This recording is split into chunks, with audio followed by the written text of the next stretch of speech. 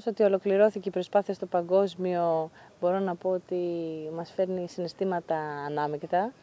Ε, δυστυχώς δεν ολοκληρώσαμε το στόχο μας στην πρόκριση της χώρας για τους Ολυμπιακούς Αγώνες, αλλά τουλάχιστον εδώ έχουμε μια δεύτερη ευκαιρία να αγωνιστούμε ξανά με τον Κώστα, με την ομάδα Άνεμος Ελλάδας. Προσωπικά τους αγώνες ποτέ δεν τους κοίταζα βαθμολογικά με την έννοια ότι όταν κάνεις μια προσπάθεια ε, θέλεις να βγάλεις τον καλύτερο σε αυτό, να υπάρχει ομαδικότητα, συνεργασία μέσα στην ομάδα, να είναι όλοι χαρούμενοι και παράλληλα να βγάλεις ό,τι καλύτερο μπορείς αγωνιστικά.